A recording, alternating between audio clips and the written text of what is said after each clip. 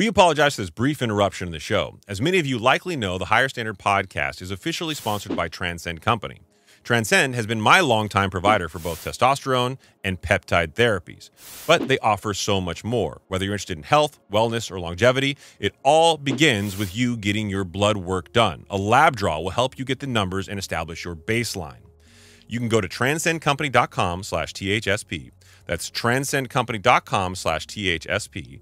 Or you can click the link in the show notes on any streaming platform and on YouTube. Fill out your information, and one of the representatives will contact you to get your journey started today. Now back to the show.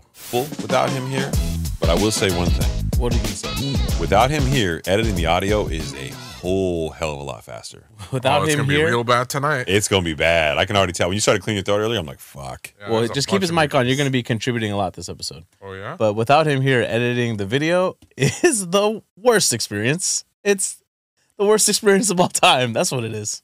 Yeah, it wasn't that bad. Did you do it, Chris? Well, he did the he did the actual cuts back and forth. By the way, he has OCD in the cuts. You noticed, so right? if anybody's getting like weird, like spinning or nausea from the back and forth from the last video, that's because Saied went a little bit overboard. I literally cut every time because the last thing I wanted was Chris to come back and me be like, "Wow, Saied, you're really fucking lazy, bro." Bro, it was like left, right, right, left, right, left, left, left, right, left, right. Well, you go back like 20 episodes, I used to do that, and I'm just like, what the fuck am I doing? Just keep it at like. No, Dunda, he he understands the cadence of the show now. He understands that okay, if we're riffing, let's cut back both of us at the same time. I'm not there yet. Yeah, I know. I saw firsthand. yeah, It's, it's yeah, sold. Say less. Yeah. So Oh, and uh wow, Haroon is here today. That's it's so shocking. he needs to accrue more PTO. It's it's it's it's, it's like he's running on E, dude. I'm so stunned. I don't even I don't even know how to do the intro now. Like I got to think of something creative to do. Listeners should know that this will be a fun episode. Oh, we were drinking with Kalen 12. Saeed rubbed his nubby little paws all over the ice cubes, but that's fine. Look, I'm not like you. I've got some weird antibacterial problem issue going on. I'm not a hypochondriac. You have admitted I on poured- this on this show, Chris. This uh, this is not me airing out your dirty ass laundry. You've admitted on this show from time to time you may skip out on washing your hands. I did not say that. You, ha- I Christopher. have not said that on this show. oh, dude. I said Come on, there man. are certain parts of my body that are cleaner than other parts of my body. Hands, not one of them. Huh? exactly. okay. You're not. You'll never touch one of my ice cubes, bro. I'm telling you right now. Put my ding ding on that ice cube. it's Macallan 13 tonight, brother. Starting off the show with the dick joke. That's not good. All right. All right. There's a lot of coughing going on back here too. Yeah, my, my I'm not not doing too well post flu right now. I'm, I'm like hacking up an iron lung. So the, the good the good news is everybody is that Saied's gonna be sick in about a week from now.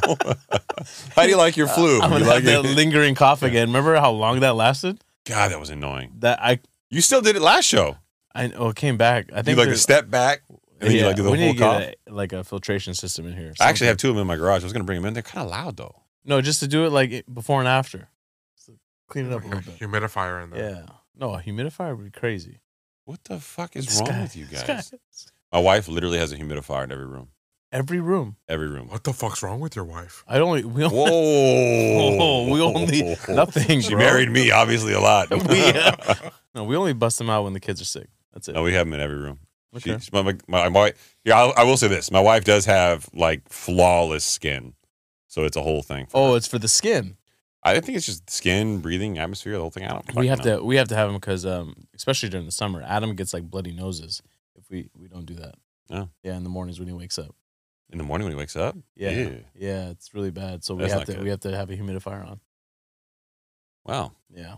Well, um, Haroon, do you get any bloody noses? Not unless I pick them. You want? Oh God, Jesus. that sounds like it's a real this problem. show's getting off the rails. It's going off the Should we- rails. Should we, just get into it? Let's do it. Yeah, Let's do it. Unless somebody wants to talk about you know penises or alcohol nope, or nope, bloody we're nose or good. anything. We're good. Okay, We're all right, good. good. All right. Done with that part of the show. Yeah, yeah. Welcome to the number one financial literacy podcast in the world. Sitting next to me once once again, who never goes on PTO, Never. the man, the myth, the legend, the one and only partner in crime, Saied Omar. Oh, sitting next to me on my left is my partner in time. You said crime. So this now you're, you're switching. You're seeing if I'm paying attention. Uh, yeah, I'm just very put off by Haroon being here. I- It's thrown off my whole vibe. My partner in time, Chris Naghibi, also known as the world's greatest dad. Wait, where'd that come from? Because you, you, you did not listen to the last episode, Odin. Do you even work here, bro? I swear to God. Last episode, we were trying to talk about personal shit, and you know how that goes with, with Saied. Oh, it's like, God, oh, let me tell you some personal shit. Hey, the other so, day, I walked Adam to school. Can yeah, I was that? being the world's greatest father, and uh, I felt so guilty about it. I took him to the movies. Oh man, that's as personal as it gets. I said, son, look, I'm going to build you a movie theater. That's the kind of person. I literally said, what's your guilty pleasure? And he's like, I'm just, I'm such a good dad. That's I what he was, said. I was talking about my Instagram algorithm, and it was a bunch of dad hacks on how to bond with your kids. That, you know, when I'm not busy dadding so hard, I like to research on how to dad harder. I was just being honest, man. God damn. Bro, That way, that way, if anyone ever pops into my Instagram feed, they see, that, oh, he's only looking at dad stuff. Okay, he's good. That's what I do. yeah, that that's that's not true, dude. it- I said, what's your guilty pleasure? That ain't it, bro. Yeah, bro, I know. You could have gone with like, oh, I'm watching barbers cut hair. You went the whole, hey man, I, I, used to. I actually really used to be into, that, especially the beards. yeah, and, and then and then what happened? You became a dad. Yeah, I became a dad and, and had to stop caring about my hair. Mm-hmm. Well, so Haroon, again, one of the many things you missed uh, by not listening to or producing or working on at all the last show or the show before that. You know what?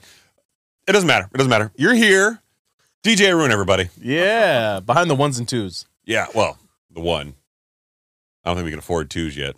We always say it. We do say it. Does anybody really still get the reference of DJs anymore? Because I feel like DJs back in the days had turntables, and now it's more like buttons.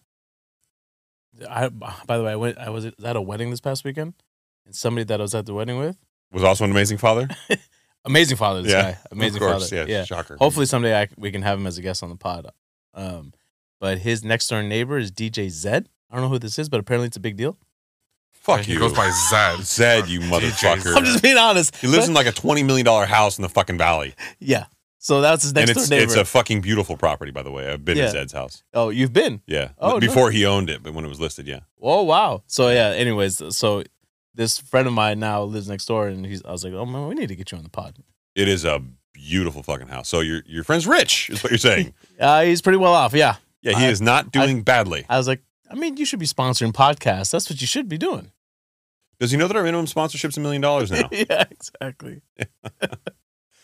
Well, uh, this is going to be a bit of a different show. Uh, not only is Haroon present and functioning, but uh, we decided we would post a little Q and A on uh, social media, and in doing so, we got uh, an overwhelming response.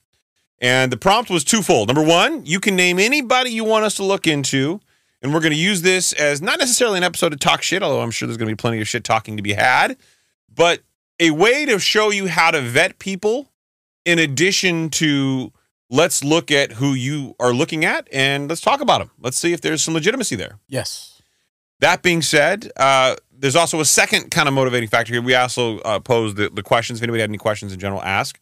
But the the winner will be the best question at the end of the night, and we will pick this person on the show, and that person will receive hundred dollars immediately afterward. I think Odin should be in charge of that. Picking the best question. Yeah. Well, I think Based on the narrows it- discussions, based on the discussions that we have. Okay, I'm fine. Haroon, Works for me. we bestow upon you the one hundred dollars to do as you shall choose. Yeah. Fuck, I have to pay attention now.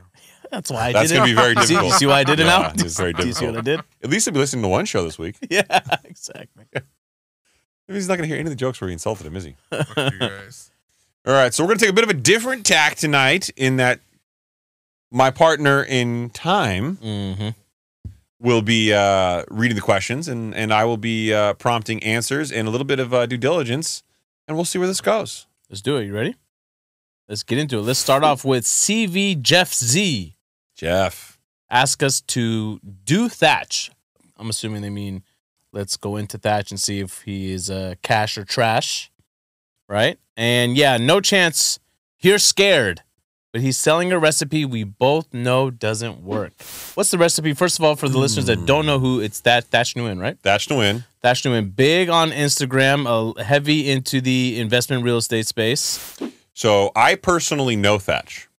Right. Uh, and I don't I don't really broadcast that, so it's not someone's fault for not knowing that. So what he's re- referencing is Thach uh, does the mentorship course thing, and he actually uses the same service that a lot of scumbaggy people use on the internet to sell their courses. What What do you mean? What service? There's an individual who sells like a third party back end who manages and helps set up the sell. So when you call, this person will will sell you the program and then help put the program together with Thach and them. Okay. It's the same guy who reached out to me that I, I introduced you to. So- I showed you the picture of and all So that. what kind shit. of program is it exactly? What do you What do you get out of his program? I believe it's a mentorship mind mindset course that focuses on BRRRR, which is buy uh, Rehab. buy rehab uh, rent and refinance and repeat. Yes. That that's that kind of So what does that mean? It means like you're buying you're buying a property, um, you're rehabbing it, right, and then you ultimately eventually rent it out. Mhm. Once you rent it out, and over the course of you know a few years, it appreciates in value.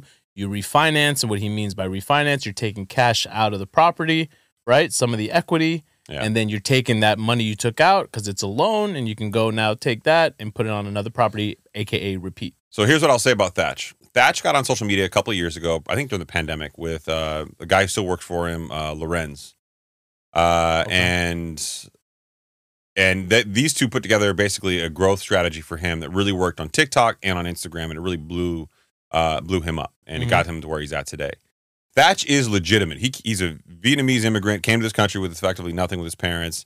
Him and his wife are just good, old fashioned, hardworking people Okay. he started off as a real estate agent, knew that he had to start buying property to get out of this active income, wanted to get passive income, got into building properties later later on, lives up in uh, I want to say Seattle Yes. in the, that area, but the Northwest. Yeah. yeah, he'll, I'm actually going to do some collaboration work with him in the not too distant future when he comes on the Newport Beach next time. But yeah, that's as legit as they come. He's probably the only person that I know that does this shit that actually has a background that I feel warrants him being able to do it. Okay, I'm gonna be honest. Yeah. I didn't know Thach until maybe less than a year ago. Okay. And seeing some of the postings, I'm gonna be honest, when he's talking about like, look, if you want a Lamborghini, he's talking about buying a Lamborghini. I'm just like, come on, man, this ain't for everybody. You no, know? but he knows.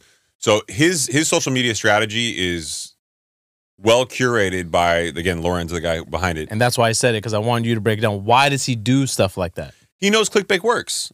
He Mhm. knows he knows like look like if my lifestyle is really what's going to sell it, then I'm going to sell it with that. He does have a rolls. He does have like tricked out cars. Like he does. He keeps Have- it on. He keeps it honest too. Yeah, I think he had a, a Ferrari that wouldn't start, and he had to talk about like somebody he needed somebody to come over. So it's not like he's renting these cars. And he interviews other entrepreneurs. He talks about some of his students that have been successful. He talks about his two kids and how he's setting them up. He's done a lot of charity charitable work up there too, supporting some local uh, some local endeavors that I'm, I'm aware of that he that he, kind of gets behind and really pushes.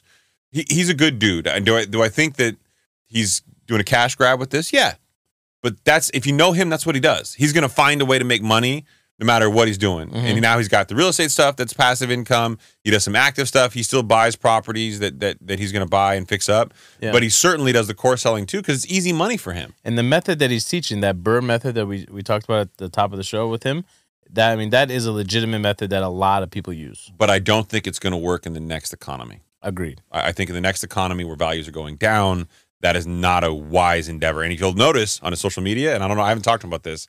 He's pivoted heavy from that Mhm. being his pitch to now. How do you get a hundred million dollar portfolio? Let me tell you how I got here. Right. And I'll, we'll get into why I also agree with that later on the show because I know there's another question that I semi prepped for um, on BlackRock's vision of the new regime. Oh, is that a question? I didn't even see that question. No, that's not a question, but uh, I'm going to like incorporate it and bring it in. Okay. Yeah. So yeah, Thach. Uh, Thach is cash. I think he's he's a good guy. Yeah. So Cash, straight cash, homie. Next up, uh, this from uh, Christian Garcia, Mr. Thankful. I'm be honest. I did a quick. I tried to do a quick search. I went on YouTube just to Uh-huh. see if I could go find what Mr. Thankful was. I'm pretty sure the two things that I found was not what this person was referencing. I don't so know who Mr. Mr. Thankful is. is a guy on Instagram. Okay. That is not him, Haroon. Uh, is a guy on Instagram who uh, basically drives around giving away cash. oh, really? Yeah. The problem is, I zoomed in to three of his videos and looked at the cash. No. The money is not real in those videos. oh, here you go. Does Mr. Thank, oh, Mr. Thank, Mr. Thankful. Mr. Thank you? No, it's it's Maybe they meant Mr. Thank You. yeah, Haroon. You're having a real tough time, dude. He's literally the first profile on Instagram. But before you do that, let me just send you to the group messages here. All right. What you need to see. So what he's known for doing what? He's known for So he rolls up on people and gives them money. He's got these really outlandish uh, kind of displays of having cash everywhere around him. So Haroon, uh, to the Oh, studio. this guy right here. Let's see here. Yeah, I- yeah, Blitz him. Yeah, there's a difference between Mr. Thankful and Mr. Thank You. So yeah, Oh, Odin doesn't didn't like that you called him out. he didn't Christian like it. Garcia, you don't win. No, it's Chris doesn't win. Potato, tomato, whatever. So, Mister, thank you. I sent you some stuff to the studio. Uh, the studio stuff. It'll probably Ten followers. This guy. 10 million followers. And if you look at his videos, he basically rolls around with a big ass box of cash Okay. and gives people what looks like one stack uh, of hundred dollar bills, which is about ten thousand dollars if you look at the banknotes. But what's he selling? So that's the interesting part, right? So when you look at his profile, uh, it's kind of ambiguous. He's got a Spotify thing here. He's got some weird stuff going on. It looks like he's just trying to grow with outlandish behavior. So I zoomed in on the videos. On all the videos, you'll find the cash has two commonalities. Let me see. Okay. On the first picture that Haroon's pulled up, just uh, pick one of them. There you go. This, this one here is fine. In the top left of the bill, it says in I think some kind of European writing, Gezers or Deers or whatever. oh, right there. Yeah, I see it. Basically, that is not U.S. real currency. It's fake money. This guy's crazy. So go to the next photo, Haroon. This bothers me so much. So in the next photo, the one. So yeah, not only is it's, it's the whole thing. It's staged. The next one that he's showing here, this one shows a bunch of stacks. Now this doesn't have the fake money mark on it, but when you look at the serial number on all the bills, they're exactly the same. Oh, So the serial number on, on both these hundreds right here is PM two five seven eight two one eight one I, and they all have the same serial number. Yeah, and it also looks like the the strap of the ten thousands. That's not doesn't seem like the right color. Eh, it could be, yeah, it could be something that's off, but whatever. Go to the next next picture. There's another one, clear as day from the video, top left corner there. Again, the German writing or whatever that it looks like, some kind of European writing. Yeah. That's fake money. Ay ay ay. And Yeah. so people are buying into his shtick, and Yeah, and it was crazy to me is he shows these these bills in absolute like right in front of you crispy video and it was easy for me to grab a screen grab of this so he drives around and he's like oh do you know who i am are you following me oh here you go here's the money so people are naturally following him because like oh if i see him he'll give me $10000 right, right, right, right. and it's not true what's interesting is i Mr. found Beast did that too for a little bit. Like, yeah but he oh, was giving away real money yeah, he's giving away real money, but he would also like he would double you up if like you were also a subscriber. Yeah. So that appears to be this guy's operation here, whatever the hell this is. What's interesting though is I actually went down the path of looking at him on LinkedIn. This guy is like a motivational speaker, like about about thanks and appreciation and some Like kind of gratitude. weird and gratitude. And I don't know how this dovetails into it, but this seems to be his shtick. But frankly, I would say he's trash. It's all bullshit. Yeah. It's not, it's not Huh. legitimate. Yeah. If it was labeled for entertainment purposes only, that's fine. But to pitch it as you're driving by doing this with clearly fake money, it's it's kind of despicable in my mind. Look for for the listeners out there, just to take you a little bit behind the scenes. Chris and I have had discussions on the show that where we feel potentially having conversations around structuring your mindset is there's some little little value there, but creating an entire show or channel around it seems like we're, we'd be profiting off of something that you know is a little unethical in our eyes. Especially when there's so many people that are that are misusing it now. Yes, You know, it doesn't seem like the we know some people out there in the space that are using it and they're using it for good and also not really profiting off of it right mm-hmm. not monetizing it and they see that there is true value in it and you're creating a good you know community but for for people like this come on man And Haroon, this is him, right? John Israel. That looks it looks like him, but with shorter Yeah. hair, right? yeah Yeah. Mr. Thank You on LinkedIn, John Israel. And look, he was, he's a gratitude specialist, like seminar guru type type guy. And it just seems so disingenuous that his Instagram profile is this guy. right But yeah. yeah anyway. All right. Next question. next question so trash somebody put in chris naghibi Absolute trash. this guy is the biggest piece of trash Fucking bullshit. The number one search thing, uh, in addition to next to my name, so like it's your name and something for SEO purposes on Google, is Chris Naghibi parents. they want to know your origin story No, they want to know if like somebody gave me money. right exactly They did not give me money. Stop searching, you motherfuckers. Yeah, well, not well. Also, like, I mean, to your credit, you're not really out there showing off like I I make all this money. I know, which is weird. Like what? Like what? I'm not flaunting anything. I know, but yet here we are. Yeah. No. Uh, I'll speak on behalf of Chris. Absolute cash, cash money. Maybe it's I got a hundred million dollar beard. No, no, that's like okay. Maybe I just tried too hard. that was yeah, Sorry. a little bit of a stretch. Yeah, it's just trying to be honest. Yeah. no. But um, no, I mean, look, he's he's a licensed attorney, real estate agent, Oh, real Christ. estate, go to the next real estate broker, yeah, uh, all, all the good stuff. Yeah, let's just skip that one. Yeah. Oh man, Mister uh, Dom Landry. This guy loves. He's definitely Team Chris. Yeah, of course, Dom is smart guy. He knows. He knows what's up. He knows. He knows you could you could roast me. He, he put Saied Omar. Trash. I'm a good dad, bro. Let me have that. One of these days, you're gonna break down in here, What and do you I'm gonna get some real like dirt on you. Can I be honest, man? Some Andy Cohen type Real Housewife shit from you. He's about to be honest. Go. Since since uh, my kids have been on winter vacation, This is already not honest. I'm being honest. Okay. Since my kids have been on winter vacation, and we've been able. And remember, I took the first week off as, for PTO because we didn't have anybody to help watch the kids. Mhm. And then my wife took the second week, right? And then um, now this week is starting, and we're a little worried about what's going to happen this week because now we're gonna let him go off to like you know my grandparents' house. Today he was at actually Odun's house and my daughter as well.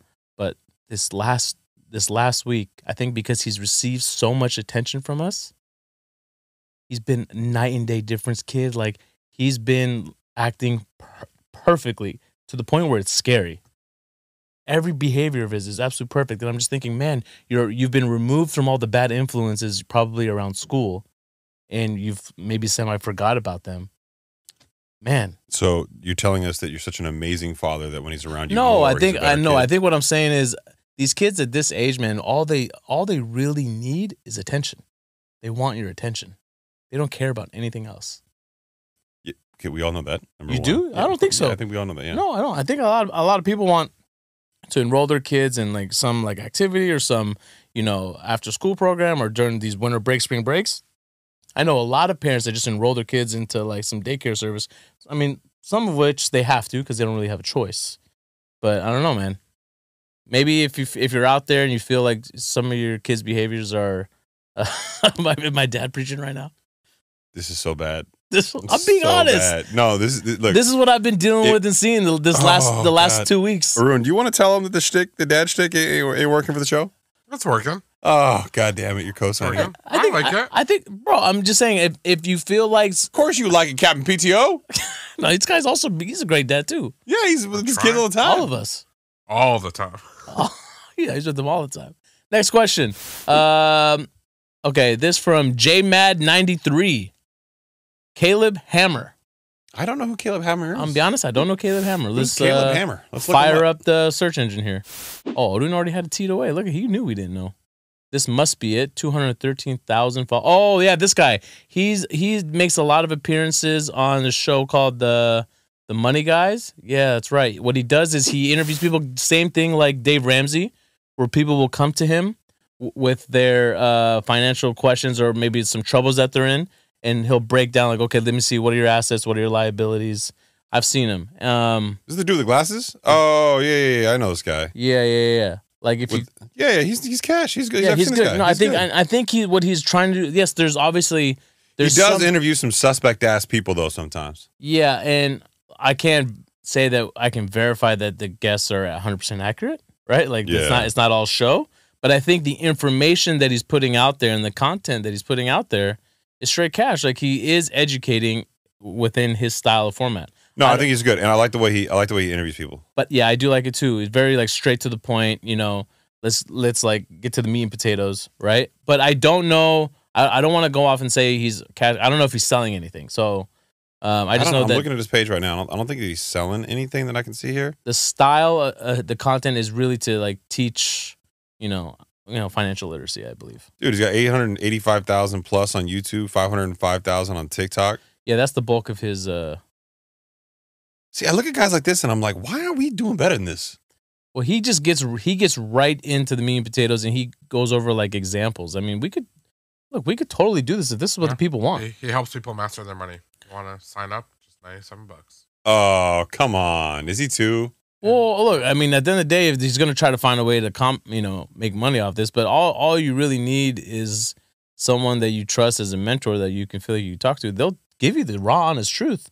Look, do you have high high balances on your credit card debt? I'm He's looking gonna- at his guests. Like none of his guests are really big name. I mean, other than Graham Stephan, who we had on. No, but his guests are typically uh, people who need financial help. So what you're getting is like Hmm. an interview with uh, someone that is asking for help. All right, I'm gonna give him cash right now. Yeah. And 97 bucks for whatever the hell he's selling. Fuck it, that ain't that bad. Uh, we don't know if there's like recurring charges, but Yeah, he's cash. He's fine. straight cash. Okay. Uh, this from our girl Jackie Martinez, Jackie. gangster. Uh, thoughts on Wellfront account? Oh. Wellfront account is? Yeah. Um, okay. So basically, I looked this up before the show because I personally, I, I'll be honest, I didn't know. But uh, looks like it's an it's an app. It's one of the best socially responsible investing apps options if you're in search of low cost automated portfolio management. That's from their actual website. Um, so I, I believe what they help you do is create a portfolio, and uh, there's low cost fees associated with it. Yeah, I've I know a number of people who use something similar to this. I know people who use things like Acorns, which we talked about on the show before. Uh, people who use like E-Trade, they have a very similar kind of methodology. I think Wealthfront Wealthfront is more meant to be kind of automated, full, like just set it once and forget it. Acorn has a lot of the similarity uh, to that, but the one thing with Acorns is that you don't really get to choose your investment mix. You just get to choose whether you want it to be aggressive or moderate or you know really conservative Mhm. as far as investment strategies go. But um, But what do you mean? So when you say like set it and forget it, what exactly are you setting? So they, this is really meant to be like a recurring investment structure. So it's really dollar cost averaging in whatever type of investment structure that you agree to set up in the beginning. Okay. So you invest a certain amount of money automatically every single month into the same reoccurring type investments. Right. And that's actually something that I feel like if you're if you're having trouble getting started, you know, one way to treat these type of accounts is to treat them like they are a bill. So if you if you've gone through your budget and you know you can set aside even let's say it's something like a hundred or two hundred dollars a month, right? Treat it like going you can go onto your online bill pay and have money transferred out. Yeah. Right? Every month automatically on a certain date. So it's just like a, a bill that goes out so you can it's actually dollar cost averaging. Yeah, I'm a big fan. I think it's a, I think it's a great way to start. It just depends on Yeah. what works best for you. I also like Acorns for exactly the same reasons. So. Right. But um, I mean, I'm not. I'm I'm more comfortable with Fidelity myself. Right. Mhm. Fidelity and Vanguard. That's how I started off. Um, but it doesn't seem like a bad idea to me. No, it's good. Uh, let's see here. This from uh, Vatek. Is that how you pronounce it? Uh, Alex Choi. Alex Choi gets a lot of shit in um, on the internet because Who is he? So he's a YouTube celebrity, if you will. He's really into hypercars, supercars, but he's very young. He's very forthcoming that he comes from a, a, a pretty wealthy, well-off family, and that his it's family money. It's not like he's you know generated a lot of the money that got him started on his own. He, he's very transparent about that, but he does some pretty crazy, wild shit with cars. He's really into flying and helicopters and all sorts of other shit now as hobbies as he's gotten a little bit older. So is the question out there that like this is this lifestyle isn't real? Well, cash or trash. Number one, he's cash. He, he's not selling you anything. He's got a YouTube channel. If you watch his videos, good for you. That's what it, that's what they're there for. That's the whole point. But that being said, he does some wild, crazy shit. He's totally destroyed his his uh, uh, his Lamborghini and done some really wild shit to it. The most recent one was like he did like Christmas lights on it over the holiday. Oh, I saw that. That's him. Okay. Yeah, that's him. Yeah, yeah, yeah. But fucking great guy, smart kid. Uh, he had a leg up. He doesn't hide that, and you know what? It's all views for him. He's not selling anything. So I, Much like our guest Alejandro, right? Alejandro, yeah. Salamandrin, yeah, right?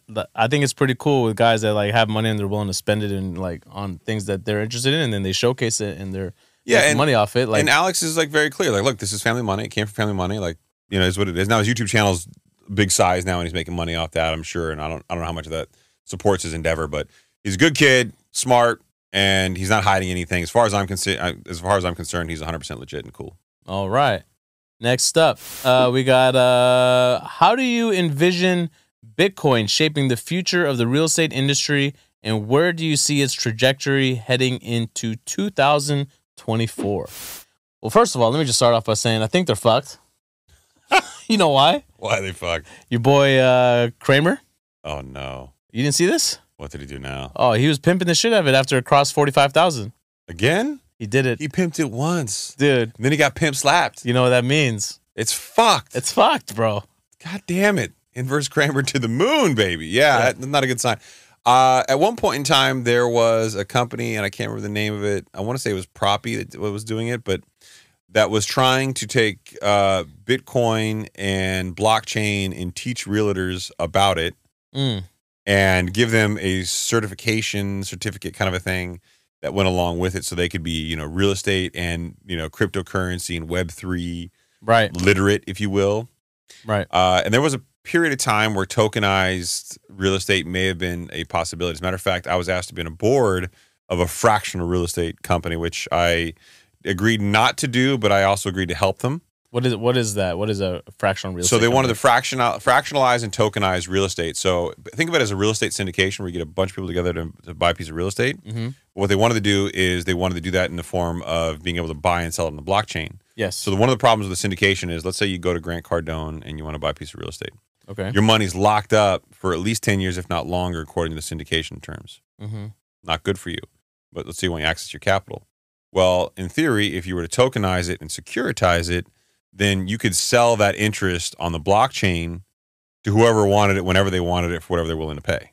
Got it. So you can kind of make it a, an Ill, illiquid investment, very liquid, without affecting the underlying real estate. And then if you bought my one tenth of one percent of that property that I own, you would then own that instead of me. The problem is if there's a loan on the property, you're fucked. So now you have to not just syndicate the portion that you're going to finance, uh, so the, the down payment minus portion you're going to finance, you have to syndicate the entire value of it. hmm No one's been able to really uh, figure it out and structure it well.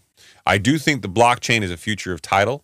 So when you buy a Louis Vuitton bag, you buy a car, you buy a piece of real estate, it'll all wind up on a blockchain, so it'll be public record.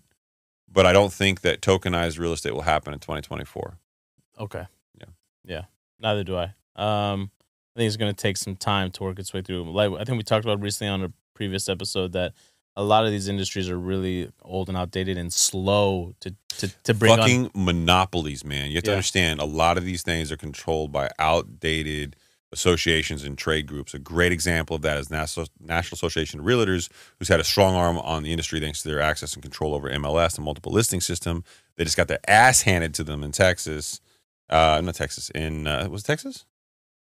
Or whatever state it was. They lost Yeah. their, their multi billion dollar lawsuit. But that's all going to change slowly, for sure. And it starts with that lawsuit but it'll certainly bleed over into title, into escrow, and some other places where there's been certainly a lot of monopolies. So. All right. Next up from let's see here, Vic Dominguez, I, I believe it is. Big Vic. Uh, meet Kevin on YouTube. Yeah. I had to look this one up. So meet Kevin. He's either universally loved or universally fucking hated. He's a YouTube guy who tried to run for, I think, president at some point, or, or some kind of local, not a president, but some type of local, like political. I think it was maybe a senator or some shit. A senator. He tried to run for some kind of political office. I can't remember what it was, but uh, he had green hair or some shit during a period of time too. Okay. I think what this guy is is a good marketer, and he's trying to really market and brand himself for all. I mean, look, look, he got a Wikipedia page. I mean, you know, he's not doing too bad for himself, right? Okay. Uh, born in Germany. He's only 31 years old. Uh, Ventura College, and he went to UCLA. Okay. And he's a Democrat. So, 595 million views. so yeah, he's a great marketer. He's a great YouTube personality. I don't think he's selling anything, is he? Uh, it didn't look like it, and it looks like he's trying to make himself look wholesome, wholesome if he's exposing Grant Cardone, Well, yeah. I mean, right? not not that hard to do. They're Yeah. all selling something, Chris. Come on. Uh, Yeah. Introducing the gold membership. Fuck, really? What is he selling now? Join now for four hundred and thirty dollars. Let's see here. Get short to the point, crash course style information. On what? The most important topics highly applicable to today's economy. Oh fuck me. Yeah, come on. Trash. Yeah, I mean, especially now. Trash. What is his fucking baseline for having? I mean, what gives him? What gives him that credibility? Is there Yeah, anything in his? what's his career path? Yeah, let's see what, what's going on. Does he have a LinkedIn account? Um, No, fuck his LinkedIn. Does he have any experience in finance? Is he an economist? his videos have discussed topics including real estate, the stock market, COVID nineteen, stimulus checks, cryptocurrency, and airline points. Great for you. Legal issues. There's a good section. Yeah. Uh, yeah, I would not trust this guy. Yeah, I would say Just because he can research and repeat stuff on Google does not mean that he is a financial expert. He's 31 years of age, having never apparently worked in finance. I'm telling you right now, whatever he's selling you in that course, you can find online for free. Yeah, there's nothing there that's going to be proprietary. Trash. He actually came up a bunch of times. So this guy is a lot more popular than Oh, he's got a huge following yeah. on YouTube, which pisses me off to no end. Here you go. Meet Kevin. What is this? He was a real estate broker at one point. Okay, so they, Jesus, fucking, fuck. They Yeah. need Literally to. nothing. They got, he's got nothing there, right? Yeah, fund manager and advisor. President of his own company, I guess. Yeah. Yeah. Real estate broker, president of Meet Kevin, YouTuber. Look, he should. So he's a he great marketer. He should be selling a. If he's selling his, a course on marketing, maybe like he understands. If he understands, he's showing you how he understands. Let me teach you how I grew my YouTube. Fine. Great. Sell that. Yeah. But you want to teach people about business and finance because you spent a couple of years doing this. For, I mean, come on, man. Yeah, man. No. No. Trash. Trash. I don't want to meet Kevin. Fuck off. Yeah. Fuck you, Kevin. Fuck you, Kevin.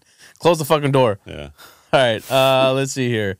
What should investors be prepared for coming into the new year? This from Vic Ramirez. Mm. Uh, I just gave a similar interview to that effect. Uh, Mm. And I'll boil it down quickly in the interest of time to my kind of big underlying concept. Most people think that the real estate market has upward mobility at this point in time because they're like, okay, the Fed funds rate is going to get cut. And when they do that, you're going to see mortgage rates drop. I don't believe that's the case. What I think is going to happen is the treasuries, particularly the 10 year treasuries, going to come out of the yield curve inversion, forcing upward pressure on mortgage rates, which means that home values will not rise the way everybody thinks it will. As a matter of fact, I think Redfin's predicting to go down next year. Yep. Yeah.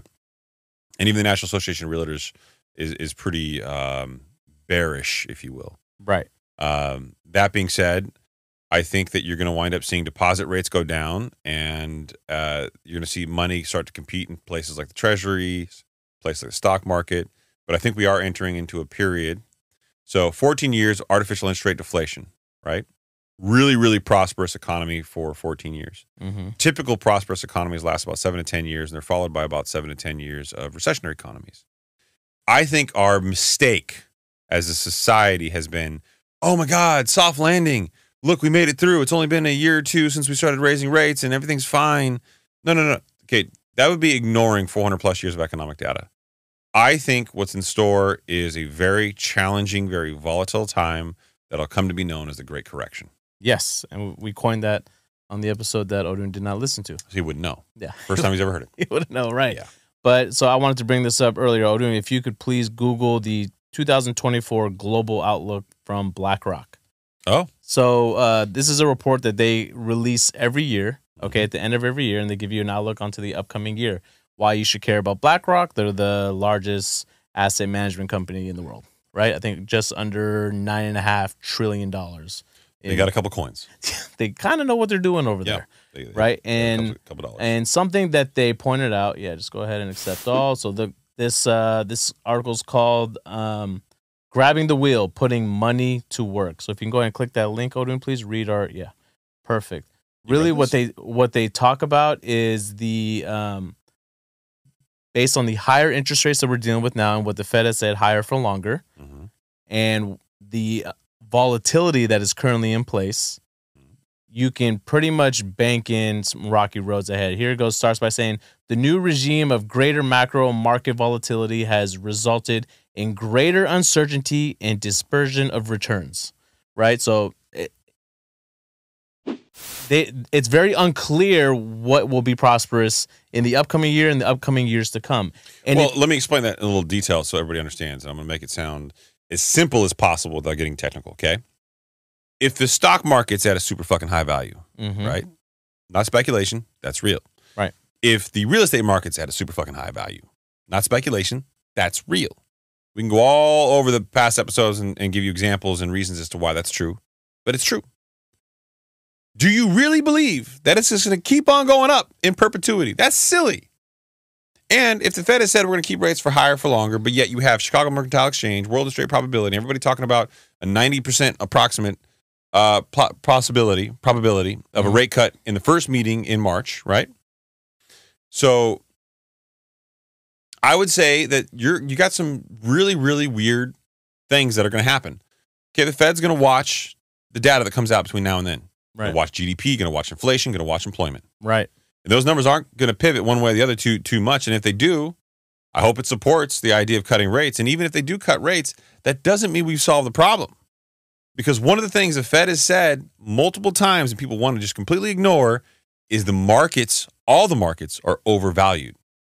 If you don't have a correction in the markets, you have a much, much, much bigger problem than inflation. And maybe one of the reasons why they're saying that they're overvalued is if there is a correction, they have a leg to stand on when they said, We told you it was overvalued, Mhm. and we're not going to cut ra- slash rates when they there is a correction because we believe this is where they should be. Yeah. Right. Um, one key point in this is this is a, an amazing thing uh, for you to read. I will plug it in the show to for you if you have time to go in and check it out. But if or if you scroll down a little bit, the first portion of this is context is everything. Stop right there, please.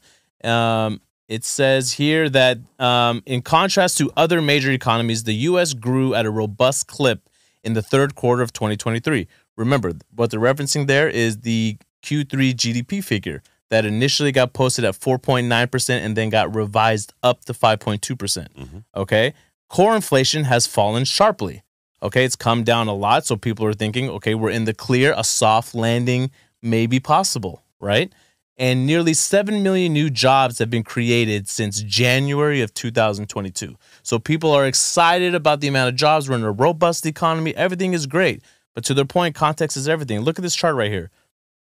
That figure on the bottom, if we all the job creation that we've seen so far has just been us climbing out of the hole from the pandemic.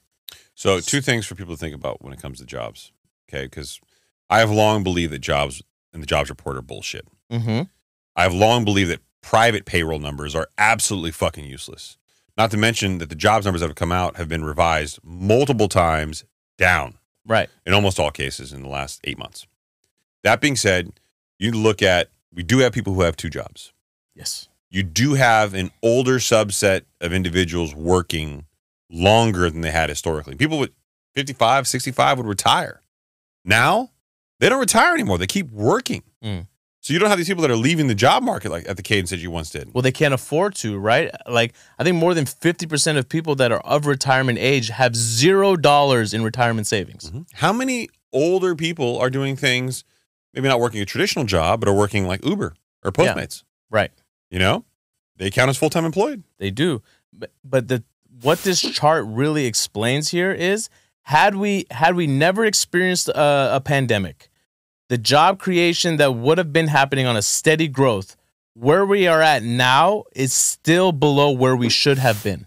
You know, I just thought of something, and uh, I think we'll have to figure this out on a different episode. But if you're a person who is full time employed at a bank, Mhm. but then you also work Uber on nights and weekends, is that two jobs? Yeah, it would have to be, right? So then, are you showing up as taking two jobs Oh, what on the census? on the census? I mean, I don't know how many of those people are actually reporting. I mean, what if they're not reporting? What if Uber's reporting? Yeah, that's right. You know, and what and they if- are reporting on the jobs report Yeah. actually. Yeah. I'm just saying, like maybe that that's got a lot more girth to it than we realize. Yeah, A lot exactly. more width. They Not a can of- carry a lot more weight. but actually with some depth as well. Well, Girth and depth don't really go hand in hand unless There's two hands. there's two hands. Unless there's two hands. It's true. All right. That was so good. All right.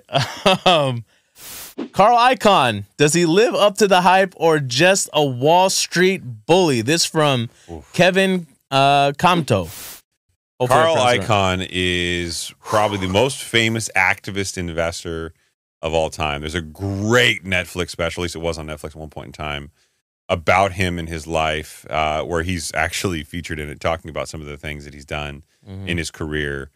Activist investors are either loved or hated, and it's really hard to tell a good and a bad one. But as much as he might have a reputation for being a bully and being just hyper aggressive, it's clear that he's fucking brilliant, Mhm. that he's talented, and that he's amassed a fortune based on the skill set that he has. according to uh, Forbes, the most trustworthy website of all time. uh, Five point six billion dollar net worth. Yeah. Yeah. so he, look, he's probably loved by many shareholders and probably despised by many employees. Some, yeah. I mean, this is a guy who would walk into you know large shareholder meetings and say, you know, what the fuck do you do for a living to you know middle management? Yeah. Like you know, why do you need like six secretaries and shit like that? I mean, he would just ask very common questions, but he's hyper aggressive.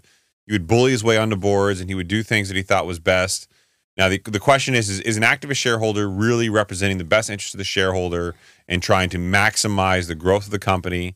And is it the best thing for the employees? No, those things are sometimes counterintuitive. But it re- I guess it really depends, right? You got to think if he's coming in over the top and investing tens of millions of dollars into a company, Mhm. right? It's not like he's doing it wanting it to fail. So this Right? is this is not an example of what Saied does, where he says he wants to be the world's greatest father. This is a, this is a, me actually opening up on the show.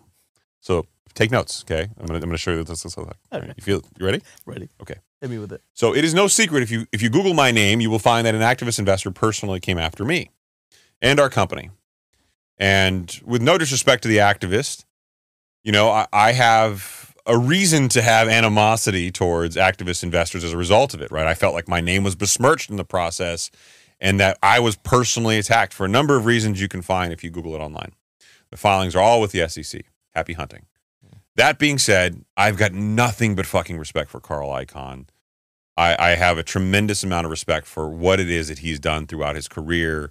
I think he does live up to the hype. I think you should watch the documentary Mhm. and love or hate activists for what they are and, and what they do. Right. It is not uh, an easy thing to do, and there's not uh, something that something. It's just not something that everybody can stomach. It, it's not an easy job to do. This guy was such a big deal. Okay, before the Joe Rogan bump, you heard of the Joe Rogan bump, right? Mhm. Whereas, like, if you make an appearance on the Joe Rogan show, Joe Rogan, Yeah. Joe Rogan, Joe Rogan, Joe Rogan. right? Then you probably get a bump in whatever industry or field that you're in, whether you're a podcast host or whether you're a comic or whether you're selling a book, whatever, right? Joe Rogan. Joe Rogan. There's a Joe Rogan bump. Before the Joe Rogan bump was coined, you know what was out there? What? The Icahn lift. Uh, is that the pussy lift? Not no, the opposite of a pussy lift. But the Icahn lift was legitimate. If he was seen to have bought into a company, the stock price typically would go up. Because they knew that that he was going to find a way to monetize. Yeah. Yeah. So that was a little fun fact for And ironically, he's not selling a course like me, Kevin. Who knew? you know why he's too busy out there becoming a fucking billionaire? Real billionaire. Yeah, not like this fucking Not the guy who goes onto Forbes and goes, I'm a billionaire. Let me tell you why. put me on the cover next Yeah. to Sam Bankman Fried. As long as Jim Cramer says it's true. By the way, Jim Cramer also said we we've now successfully attained a soft landing. Successfully Yeah. We we've we've got it. The Fed was successful. We have a soft landing. done. I was like, well, Jerome Powell? economy. Jerome Powell, your job here is done. yeah. Why don't you just tell Jerome Powell you fucking hate him? Yeah. Yeah. All right. Uh, Nick from Reventure. Hmm. That from Rob C from SD. What did you just call me? Yeah. Oh, Nick. Nick from Revenge. Nick Gerli. Well, dude, we've covered this guy on the show before. I don't remember Nick why. Gerli? Yeah, we've covered him on the show before. Nick from Reventure. His name I- is Nick Gerli. Don't I want to say he he gave the pod a, a shout out. Did he? I want to say. Huh. Yeah. Let's see here. Let's yeah. Let's see. Does he have an Instagram page, Odin? Did you pull it up? Oh yeah, yeah, yeah. I know this guy. Remember him? Yeah, he gave us a shout out, didn't he? He did give us a shout out. Yeah. So he's a fucking genius. He's fucking good in my book. Yeah, he's, he's solid. Now let's see what is he, let's see his most recent post six hours ago. He's talking about Redfin Home Buyer Demand Index, a measure of interest in showing and other home buying services is still at the lowest level in four years, down six percent from last year, an already low level of buyer demand. Great, yeah, he's putting out real data out there. He's got stuff out there from Fred as well, Yeah, former underwriter.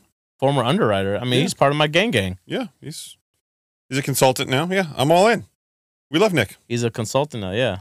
Yeah, unless unless Nick, there's something out there about Nick that we don't see here, I'm not uh, I'm not hyper concerned with what I'm seeing here. Oh, we'll give we'll give him the cash. Cash. Straight cash, on me. Um, this from uh, Michael VTV. Hmm. So many to choose from. Haha. How about me, Kevin? All right, we covered him. Yeah, sucks. All right. Uh, this Ass. from uh, Isabel. What's up, Isabel? She's a big uh, listener from the show. She came on from Mind Pump. Mm. Um, What would y'all's rap names be if you made it in the industry? Mm, yours would be Cool Daddy, right? Or Good Daddy, It's Dude. For, I'm sure it's not Puff Daddy these days. Not these days. Sir Dad a lot? Wow, dude, you coughed on a hot mic? Yeah, Jesus sorry. Christ. Yeah, this guy's confidence is rising. With like no hesitation. I love it. This is my podcast, bitch. Sir Dad a lot. Oduna, what, what would yours be? Hollywood. Hollywood. That's a pretty good name Why would it be Hollywood? because that is one of his nicknames currently. Like the Florida Hollywood, right? Not like LA Hollywood. No, it's Hollywood. Why? Where did that nickname come from, Odun? Why did they start calling you Hollywood? Uh, I think it's uh Hogan, right? Hulk Hogan. They used to call him Hollywood at one Oh, point. Oh, Hollywood Hogan. I'm Yeah. wildly confused about the reference Oh, now. wrestling. Uh, who's Hulk Hogan? Is he the? No, I know who Hulk Hogan is, you fucking dick. I just don't understand why anyone would, would confuse you with Hulk Hogan. Uh, no, uh, I was a bad guy at one point. Oh, he was a bad guy, At one point? and he's referen- They're referencing Hogan from NWO days. You wouldn't know. See, the fact. No, that I he- know when he wore all black and he was part of the weird crew and then he did the whole like personality flip thing. I get it. Yeah, he became Yeah. the heel. Yo, The heel, yeah. No, all right, there you go. Only because I watched The Rock, I understand what that is. Yeah. this is- what would your name be? I- Come on, I- let's give it to him. Let's give it to him, Odun. Oh, Oh, I got it. Go ahead. What do you got for me? I got it. It's gonna be racist, isn't it? God Look. damn it! Little Gold Bloom X. Little Nas X. A little play on there. No, I got the, the Gold Bloom with the glasses. That's, Yeah. That's. I I, mean, I like it. little Gold Bloom. Of course you like it. You're on his side today with everything he You said got- today. One of us has to be little something. That's you. Why's it gotta be me? I'm clearly not little. That's the whole point. It's a play on the word little. Name one little person that's Because then- actually because not that's- little. That's what made. That's not. Little Bow Wow is little. He's little. Everyone's little. That's, but that's the problem. but that's the point, right? Then people will- be. It'll, it'll trigger the algorithm. People start commenting about it. He's not little. no. Mm-mm. Okay. Nah, bad, bad, bad, bad. Bad, bad. I can't believe you haven't given this more thought on your personal time. I thought you had one ready. No, I was never. You strike me as the- just doesn't want to say it. You strike me. Yeah, come on. Tell us what Joanna Bro, calls you, in went to bed. Santa Ana. what she calls me in bed? yeah, I know it's a rap name. Come on, give it to An me. asshole. All right. oh man, you went to Westminster. Come on. Westminster, you this fucking racist. Westminster. Westminster. it's not a minister. It's Westminster. All right. Uh, again from Michael VTV. Logan. Uh, that's your. I don't know how to say his last name. Oh, Logan from Housing Wire. Yeah. Uh, Logan is legitimate. He is a great economist for Housing Wire. However, uh, to be full disclosure, Logan does have a very, very heavy industry slant towards the housing industry and the real the realtor space. That being said, we he's engaged me in some pretty healthy debates, despite the fact that I'm an asshole in bed as well. Uh, but uh, Can you see a world where, if, because he's so heavy in the real estate, is he like when he makes these appearances? Is it known from him that he needs to provide some level of optimism, no, uh, or he really believes he's drinking the Kool Aid? that is his audience. I will say I do have one bone to pick with him. His hair. No, his hair's fine. I'm fucking jealous. It's great hair. All Um, he does like to rep that the Housing Wire podcast is crushing it, right? Uh oh. But it's in some obscure random ass category, and like- it's not doing as well as our podcast. I like. is. I like. I like what's going. on. Can we start podcast beef? Let's do this. we don't need to start a podcast beef. We own the beef. We We we own the beef, dude. we are the beef. I feel like okay. If I'm being honest, I feel like he's one of those individuals that He gets great media coverage too. Big national syndication interviews, all great. that shit. Yeah. Yeah. He's got. But our podcast is better. his subject matter expertise is real estate, right? Yeah. And he's one of those people that I believe is too close to the paper and just needs to pull the paper back a little bit to read it all. He works for the real estate industry. He's very, very pro real estate industry. Yes. I think he has a real tough time with his bias, which he never discloses openly. Okay.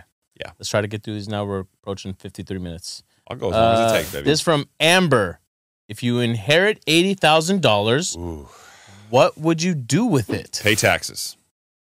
I would pay taxes. yeah, not everyone is in your pay taxes right away. Set aside the money for taxes. Is that no. what you a- after that, Hopefully, it's in a family trust. I would pay taxes, and then half that would be pay my Am- Amex bill for the month. Oh, yeah. Uh, no, seriously though. um, Um, if you have, first of all, if you have any uh, high credit card debt, definitely tackle that first, right? so old school logic here, but I think it works, still plays. Okay.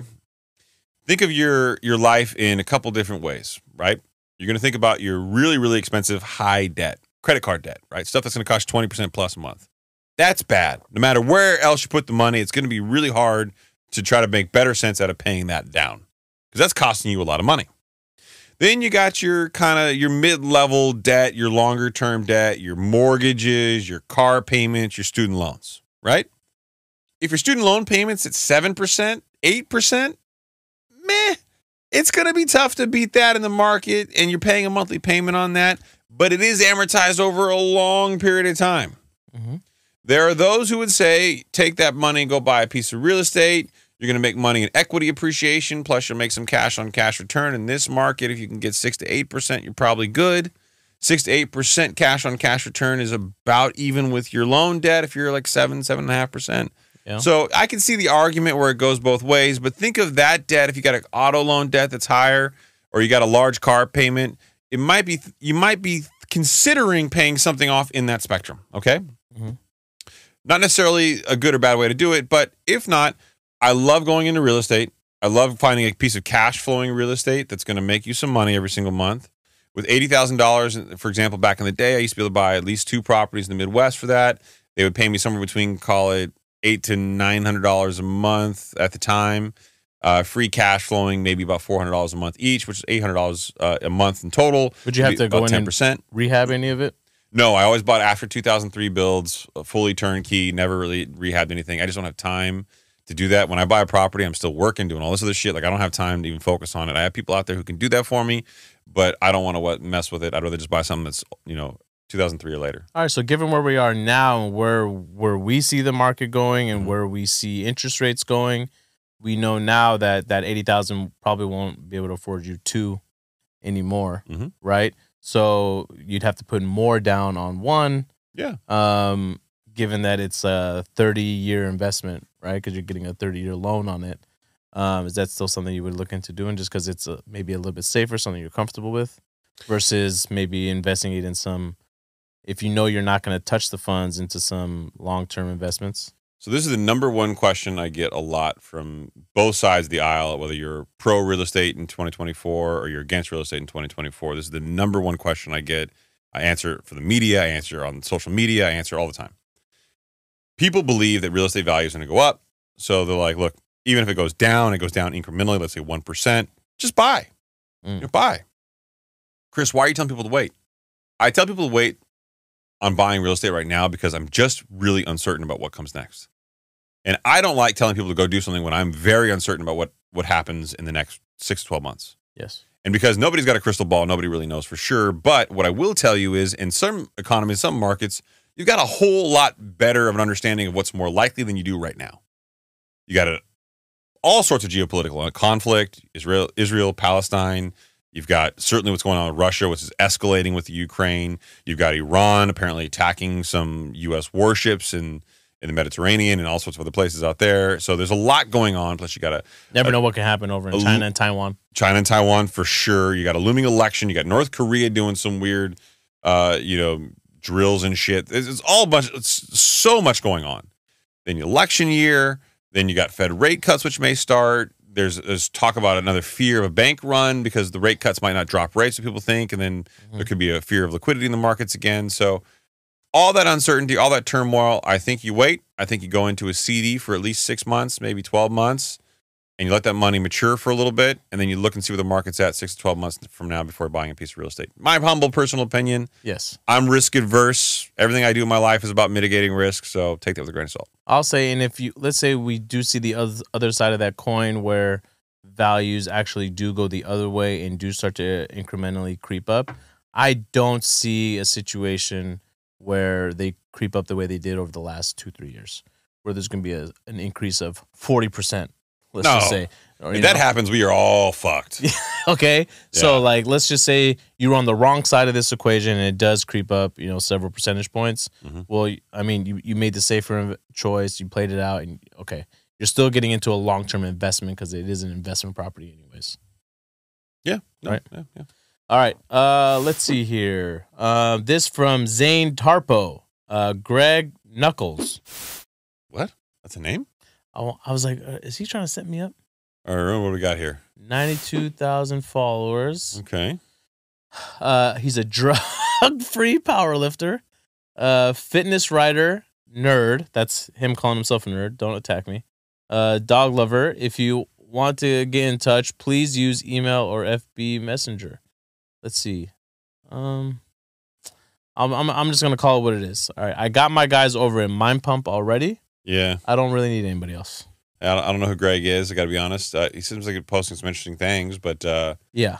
I, I got to tell you, I got better sources. No disrespect, Greg, um, hmm that I like to rely on. Yeah, he's not selling anything. I Already looked him up. Okay, not selling anything. I mean, that's, that's a good start. So you know Yeah. what? If you find his information useful and it helps you lose weight and stay motivated, then fuck it, knock yourself out. Uh, I really think that Sal, Adam, Justin, and Doug, the Mind Pump guys, are the one-stop, non, you know, bullshit, non-biased place to go. Yeah. Uh, I also like Layne Norton for a lot of like no bullshit, And the- straight up like science. And we know them personally. The shit that they're selling over there, first of all, works. Their programs work. Oh, yeah. And on top of that, you know, they vet out all anything that they're selling on the show. They all use and they vet out. Yeah, Andrew Huberman's a great another another great example. Yeah. Uh, Peter Attia uh, is a great example of another science based guy. Yeah. There's a lot of really really big names out there who are fucking phenomenal. I just don't have the energy and the space to bring somebody else into my trust fold. Yeah, exactly. Do you have space in your trust fold? Say Yes, there's always space. it's very warming. Yeah, it is warm. Yeah. Yeah. All right, uh, this from Christian Garcia again. Okay, Christian, I see you out here trying to get this hundred dollars. You throw some money at some people. All of a I sudden you get some questions. The guy's name on IG is Mr. Thank You. Oh, we went over this. Yep. Trash. Straight trash, homie. All right, uh, this from uh, Rockstar Rudy, I believe it is. Mhm. Uh, thoughts on the Gold Rush Rally Crew? I'll be honest, I looked this up. I felt like this was right up your alley, given your thermal experience. No, I, look, I, I know the Gold Rush Rally. Uh, a lot of respect for what they do. There are people in any event of an organization like this that are going to be great people, good people, ethical people. What is it exactly? What are we What are we dealing with here? Effectively, it's, it's just a rally where they get a bunch of cars together and they drive from you know one part of the country to another part of the country. It's usually across the country or half the country, uh, and it's a bunch of hypercars and exotics. It's it's a really interesting time. They kind of party along the way. They get some speeding tickets along the way. It's Yeah. a, it's certainly a, a very different lifestyle, and it takes a lot of money to get involved. It's not a cheap endeavor. That being said, it's like a club. A lot of people in the exotics and high end car community will will kind of get together and do these things, and it's a great time for them. And look, it's not like this is an organization that recruits members. It's it's people pay to join and take part of these events. Mm. So there's going to be some great people. There's going to be some not so great people. There's going to be some, you know, Farmington. yeah. There's interesting interesting things that happen here. I have nothing bad to say about Gold Rush Rally. I think it's spectacular. Uh, but I don't think that everybody in the organization is on the same level from an ethical and business perspective. Just know that uh, they are what they are, and, and you've got to use your best judgment when you try to make friends with somebody. You know? Dude, back in the day, did you ever go to those uh, street races? I street raced at some of those street races back in the day. So I did too. I not I did not street race myself, but I went to go watch as a visitor. Oh, I used to I used to go to them all the time. Right. And um man, I've seen people give up pink slips. Like that shit is real. Like that that Fast and Furious life, that shit was really happening back then. No, I I I grew up in that subculture. Yeah. Yeah. So I remember going, it was the first one that I ever went to, and then the cops showed up. And I didn't know, right? I obviously knew what they were doing was wrong because they were all hiding, right? They're on the freeway. Everyone's Were you fro- still an amazing dad back then too? I was I know, but I was talking about AARP. yeah. So it all kind of makes sense. Yeah. And then the cops showed up, and next thing you know, everyone just splits. One guy clipped the cop on on that was on his feet. Oh, they, they, it's like the cockroaches when the light turned on. Yeah. So listen, They so all just fucking poof, disperse. And I didn't know any better. Nobody, nobody warned me. Nobody told me, "Hey, be careful of this." Right. So everyone just splits. The person that took me to the event, he split. Right. And I'm like, I'm just following him. I'm running. We're jumping over fences. There was barbed wire. I'm cutting my hand. I'm like, what are we doing? We're we didn't do anything wrong. Can we just stay? And we're hiding out in the bush, waiting for the cops. Some helicopters are showing up, and we just we just stayed there till like two o'clock in the morning until it all died out behind some bushes. I'm like, is this really necessary? What's going on? Did you bring your ARP card? Just show them. I was like, I'm a good kid. I'm retired. God damn it! I got I got straight A's. Come Yeah. on, please let me I'm go. trying to raise children. yeah. All right. Next up from uh Uh, Josh, looks like Joshua. Thoughts on Dave Collins' case for a multi-decade bear market outline in his 2023 year in review? Well, it goes along the same lines as. Was everybody coughing tonight? I just thought I should interrupt you. Okay. Well, Dave Collins looks like he's been around the game. yeah, he's he looks salty AF, bro. Yeah, he's, Uh, look, I, I don't necessarily disagree with some of the logic. I think multi-decade is a you know bit harsh. You know this, you know this guy? I don't know him, but uh, I, I've seen at least a little bit of this, and I read and prep for the show. Okay. Uh, I, I will say, I think he's clearly aggressive on his stance. Now, I do think his underlying premise is right. 14 years, artificial interest rate deflation. You're going to have a longer, more painful correction, and it's going to take. We're, the problem is we're looking for these really quick, fast corrections Okay. because the old ideology was as technology gets more and more robust, these economic periods go from, you know, boom to loss back to boom quicker and quicker and quicker. So what used to be a seven to 10 year cycle will now be a two to three year cycle and two to three year cycle, will then come a one year cycle. And it'll be like, it'll be prosperous recession, prosperous recession, super quick. And it won't be as deep and as bad Mhm. right? I think he's trying to make the case here that that's not accurate, in that what we've really been experiencing is a prolonged period of prosperous activity, and to be followed by a very dark, long period of recessionary activity. I think that's a bit of extreme. I think you start to see cycles. I think we went through a long cycle. I think you see a longer cycle on, on the downward swing, and Mhm. I don't necessarily disagree with him. I don't think it's going to be as long. I do disagree with that, but uh, yeah, you know, you know, his theory is as good as anybody else's theory right now. It's all speculation until some shit happens. I mean, a lot of companies have been created over the last 14 years. I feel like with what's to come, we know a lot of the commercial real estate debt, right? Is and some of the business loan debt. That's like they're on 30 that's a 30 year investment as well, 30 year product, Mhm. right? And a majority of it is on 5 years, right? Yep. So if somebody got a loan back in 2018 and you wake up in 2023, you got a fucking problem on your hands. Now, if you got that loan in 2020 and in the next 2 years you're still dealing with higher interest rates and you haven't really positioned yourself to be well capitalized and interest rates are still higher, you have a problem, you know, 2 years from now. So, it's going to be a problem and I don't see us having the upswing of companies and corporations being made and created and new jobs being created over the next you know five to ten years the way we've seen over the last 14 years. Yeah. it's fair right? Yeah, fair. okay. All right here we go. Uh this from c west 25 long time supporter of the show. I- i recognize this name. Uh what does the next 10 years look like if there is a soft landing or no recession?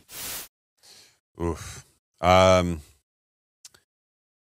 okay, you're going to see a growing divide between what will ultimately become the working class, which is currently made up of 52% of the population that is now known as the middle class, and the lower class, and the roughly 26% of the population that's the upper class will continue to grow.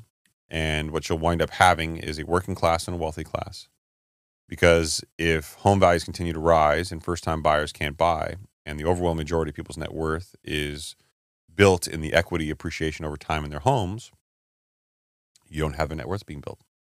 Mhm. god damn it you guys got me going. Not too fuck.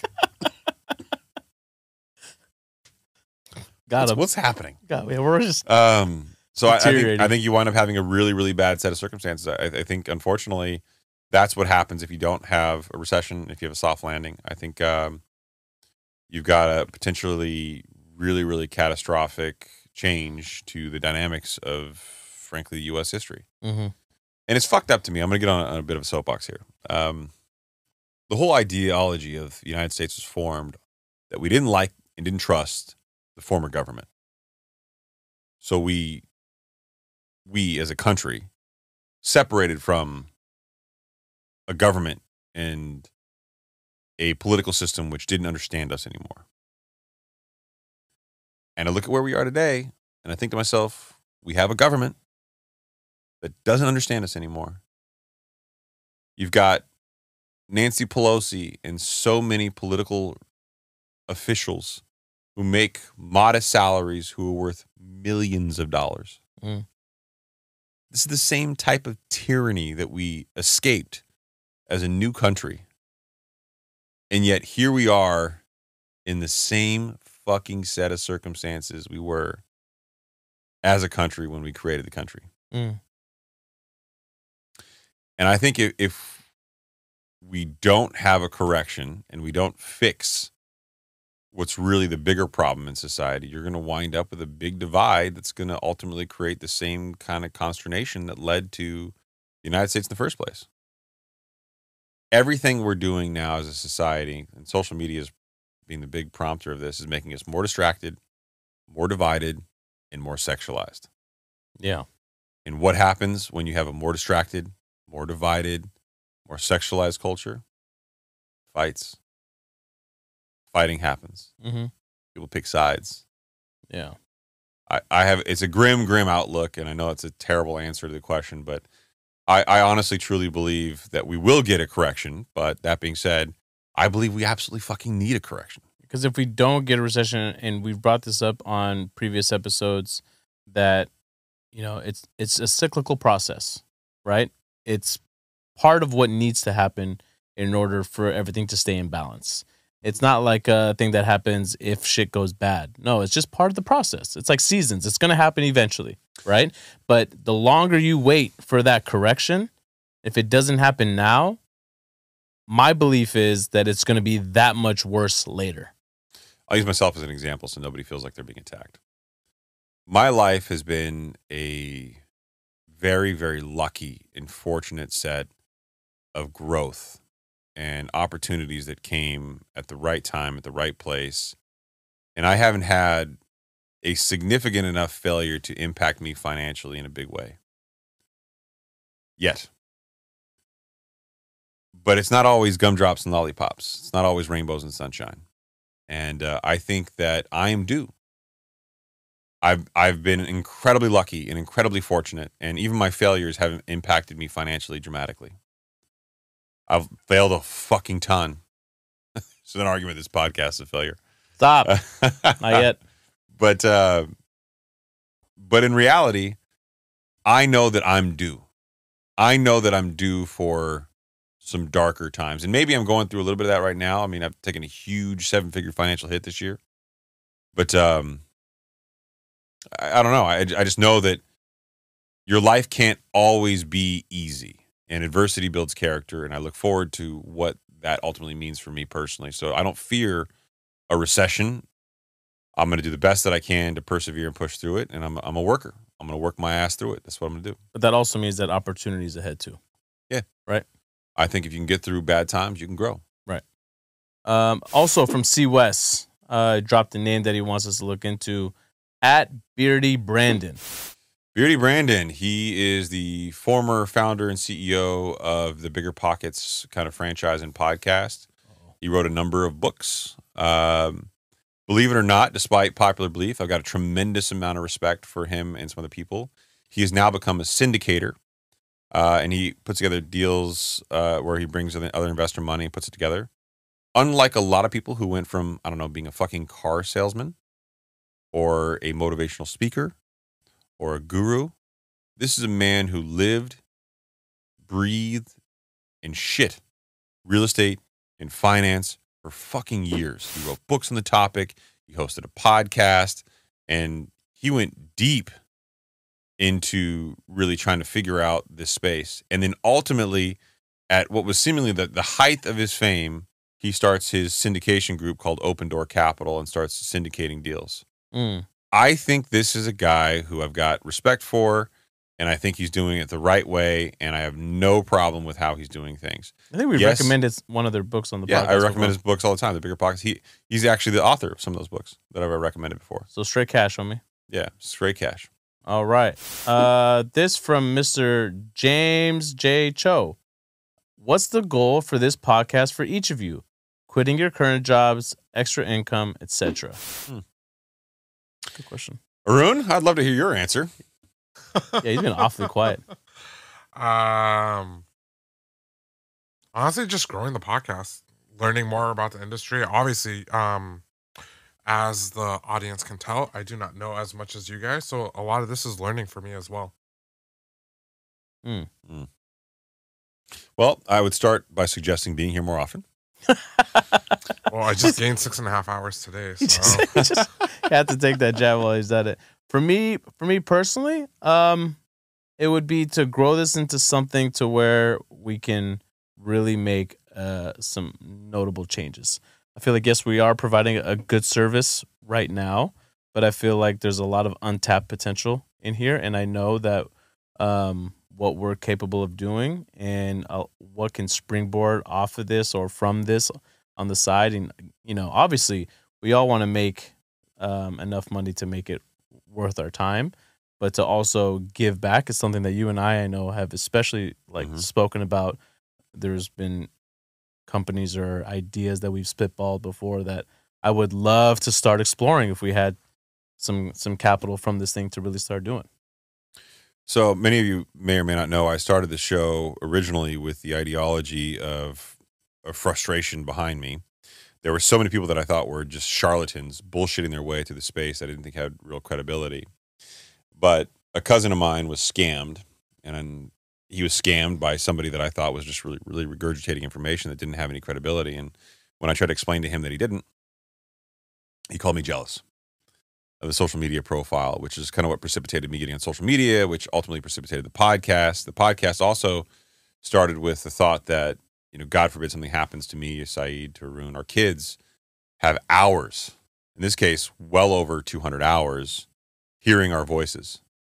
Mhm. This will, frankly, transcend our existence on this planet if we continue to keep it going until you know we die ultimately there there'll be enough here and maybe maybe someone will turn that into ai at one point that can speak and sound like us And hopefully transcend transcends over to transcendcompany.com slash THSP. I stuttered when I said it. God damn it. You did. It's it, you're so happy to get a I'm plug in. so he was like fuck yes! Which by the way i got my uh MOTS-c my testafin or testamorlin whatever the fuck it is uh a couple days ago. I i just figured out the dosing protocol for MOTS-c which is actually a little bit different than i thought it was going to be. Uh take it three times a week for four weeks and then down to once a week. But uh I'm super excited uh, to get that started. So my mom leaves on Friday from her visit. She's been in town for the last couple weeks, and then uh, I'm uh, I'm going full force, balls to the wall, All the walls. all the walls, touch all the walls. Yeah. But uh, yeah, it'll be it'll be interesting to see uh, how all that works out. I'm really excited for MOTS-c. I've heard good things from Sal. Yeah. Um, long story short, I would love to gain even more fulfillment from this than we're already getting. I will say I don't think any of us went into this with the idea of replacing our primary income until we talked to Adam, Sal, Doug, and Justin, and we're like, "Hey, how much fucking money y'all making? Yeah. Oh, God Okay. damn! I I'll mean- take like one twelfth of that shit." I mean, Yeah. Uh, let's just put it this way. They do all right. they do okay. They do okay. Rightfully so. Yeah. Rightfully so. They were uh, pioneers, trailblazers, if you will. Oh, dude. So ahead of the curve. Yeah. Yeah. Uh, J Track put out there Chris Naghibi. We already covered that trash. Uh, Vic Ramirez. What major shocks to the economy should people be prepared for? Volatility. I expect there to be volatility. Um, I think you're going to see a lot of manipulation in the, in the traditional media as it comes closer to the election. I think you're going to see a lot of people struggling to keep the happy, happy, joy, joy bullshit on um, CNBC as the market rises. And I think you're going to see some volatility. Don't expect to see all this optimism from the rate cuts equate to really good things happen in the, the economy. I think you're going to start to see people go, "Oh my god, they're going to cut rates! It's amazing!" The market's going to pop a little bit, and certain segments, certainly like the banking sector, are going to do great, and then other Mhm. segments, sectors aren't going to do great, and then the market's going to like not react like people think, and it's going to be really, really weird.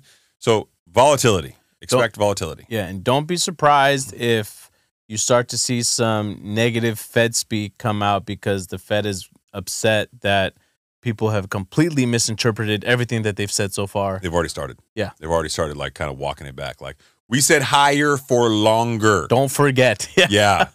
Uh huh. Exactly. I'm not sure I've seen the data that makes me feel like we should have a rate cut yet. Right. Exactly. They've all started to come out. So because they're fully aware if, if everyone is priced in or is expecting a rate cut by that March meeting, and if they don't get one, uh, there might be some problems. yeah, there might be a. Um, uh, this from Isabel Keaton Harris, aka the Muscle. That name sounded super familiar to me. I think. Oh yeah, this guy. Okay. Um. Who's this? Oh, this guy. What? A, Yeah. You're gonna say what a piece of shit, aren't you? Yeah. So um, he is part of a group called Limitless Society. Let me just be clear. That's a bad start to a conversation. Holy shit, bro. Payment options. $297 monthly.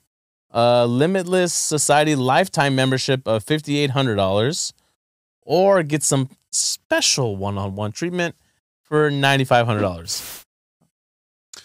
Trash. Absolute god awful trash. Um, I've seen him respond to some comments which I thought were uh, tactless, frankly.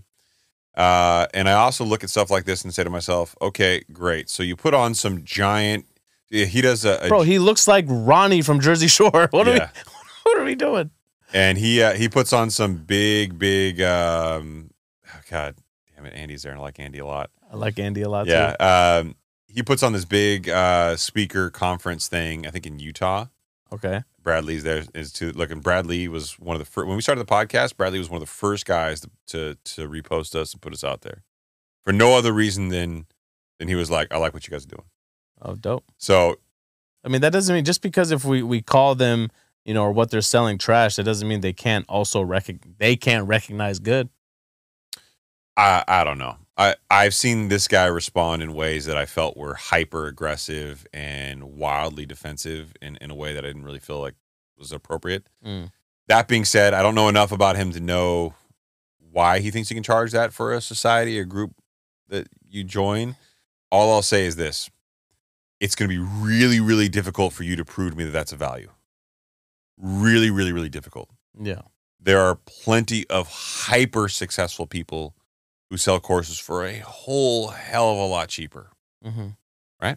Yeah. And okay, the limitless society. Yeah. That just sounds sensational and sexy. I was it doesn't really say what it does or what it means other than the fact that it sounds like you've got unlimited potential. I'll never forget. I was I recently I was scrolling through the YouTube Shorts, right? Because I'm constantly observing, trying to see like, all right, what are what are people like putting out there, content wise, style, formats, whatever, right? And I'm scrolling, I do that too. right? Because I do I'm too. curious, right? I want to know like what what's working, uh, how It's much. the editor in you. Yeah, exactly, right. And I came across one of uh, Graham's. I don't even know. Is it Stefan? Steven? What is it? Graham Stephan, Yeah. and he was interviewing Trash Cardone. Yeah. And he brought up that Leila Hormozi, I think her name is, Mhm. bought Alex Hormozi one on one time with Grant Cardone, That's a true story. Yeah. and it was something like hundred and twenty thousand dollars for like twenty to thirty minutes. Ugh. Okay, and I'm like, dude, and and Grant says, he says, oh, he, he just wanted to know, he wanted to find out like, what it is that I'm doing. Okay, first of all, if someone like Hormozi's doing that, it's not because he's trying to learn how to syndicate deals from Grant Cardone. He's trying to figure out what is he doing as far as the algorithm goes and how he's picking up on clientels and how he's able to tap into these lower income households, right? And that's what really, really, really irks me. All right. And the This- fact, and the fact, and this is, and and this is the part that should get scrutinized the most. Okay, Graham Stephan is promoting this shit, okay, and giving that guy a platform to speak on. I've lost a lot of respect for Graham over the last couple of years. Not because I think he's a bad person or malicious person. He seems like a fucking sweetheart of a human being. But because he's given everybody a platform on his podcast. And what bothers me is that this type of behavior is encouraged because the fastest way to grow on social media is, is to collaborate with other creators. And what bothers me immensely, and the reason why I stopped talking to Jamil Damji, for example, was because he went to a huge event that Grant Cardone put on and invited all these creators. 10x his ass all the way to Florida. Exactly what happened. And to me, it's like, okay, you guys are all so desperate to grow your brands that you will collaborate with somebody who says some pretty unsavory and does some pretty unacceptable things. And then, okay, fine. Whether you think Grant Cardone's a good person or a bad person, whatever, I don't care. But at some point in time, you've got to say, okay, what do I stand for? What what is what is too far? What do I not want to be associated with? I, I can't be everyone's friend. I've got to take a moral stand.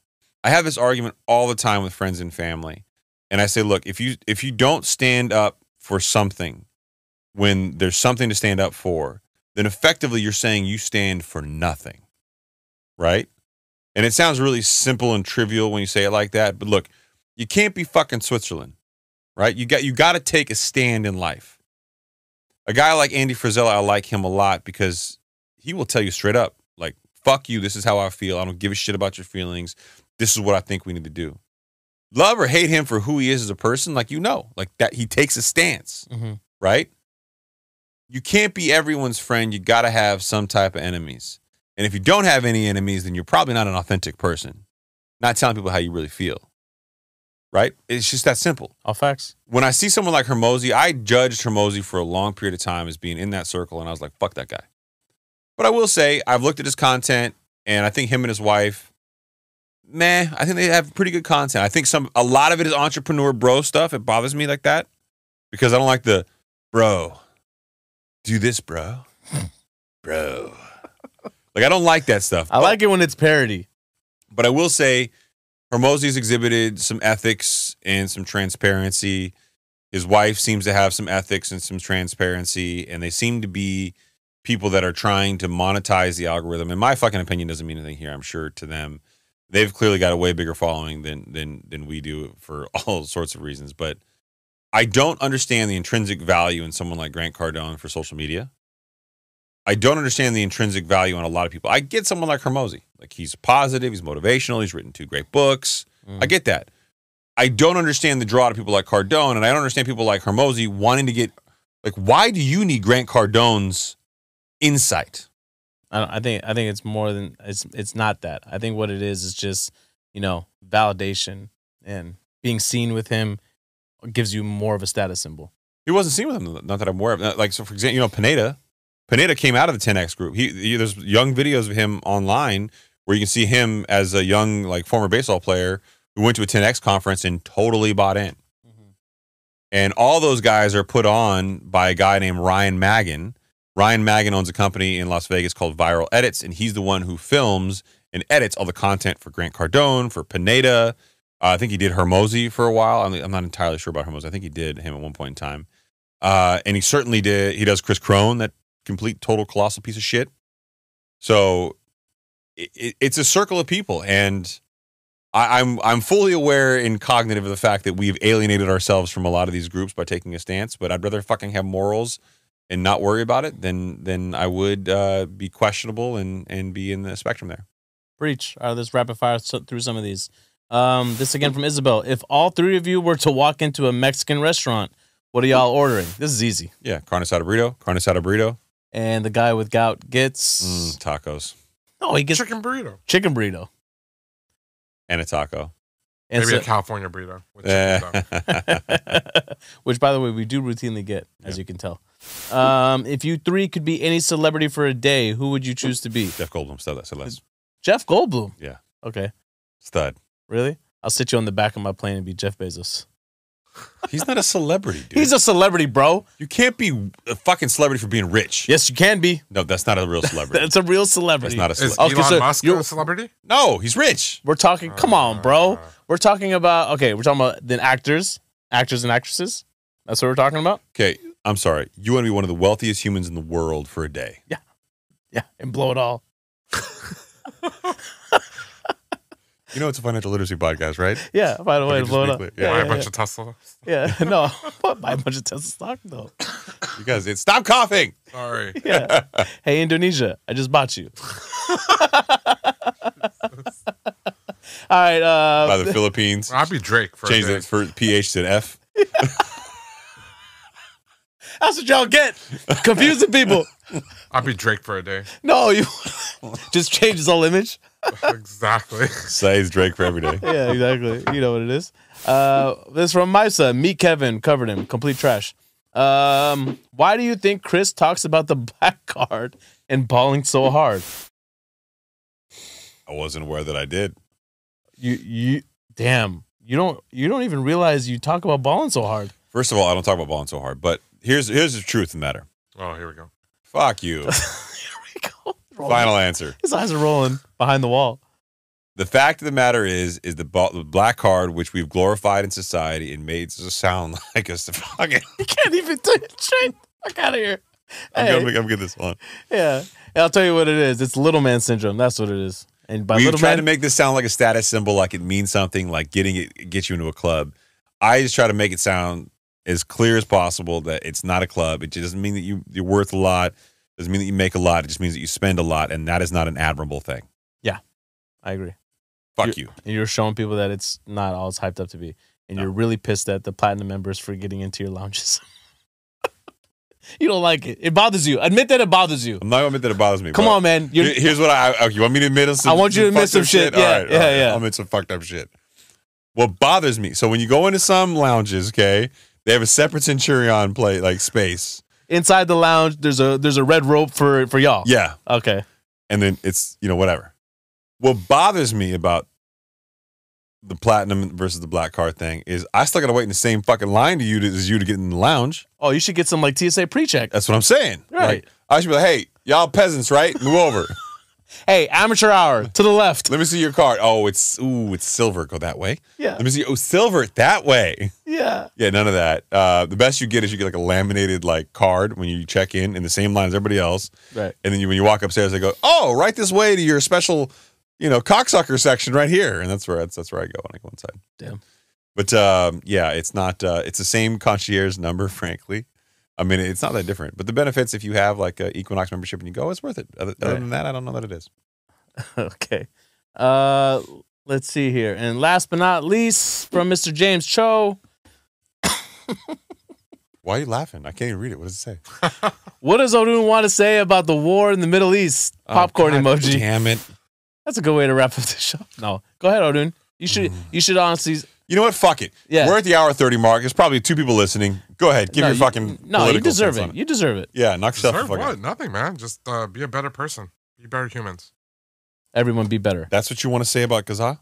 Do better. It just says Middle Because, East. huh? Doesn't s- I Christopher. try to do it. no, you can't. This is not. phonetically This is correct. not okay, we can't laugh about this. I can't say Ga- Gaza. Gaza. They don't say Gaza. Gaza. Huh? what? Gaza. That's how you say it. No, that's, how, that's how I say it. Yeah. That's how you say it. But uh, anyway, that's not what you want to say about Palestine. yes, it is. Come on, man. I've seen your feed, bro. You got opinions. Come on. My opinion is everyone should be a better human. I mean, there's nothing, yeah.